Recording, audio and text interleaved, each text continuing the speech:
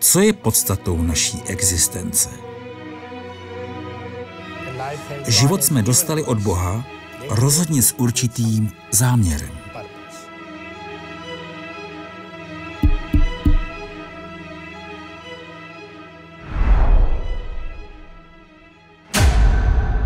Tajemství a smysl života. CZ